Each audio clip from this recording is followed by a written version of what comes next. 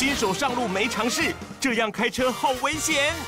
他说：“为什么我的新车这么没力呀、？”我说：“你刚刚手刹车有放下去吗？”他说：“啊、他放手刹车，我放开哦。”他说：“刚考到驾照，兴奋。”我就用手就是说：“你等下上桥你就慢车道，因为我等下又有转开开。”东子那个为什么路越来越窄？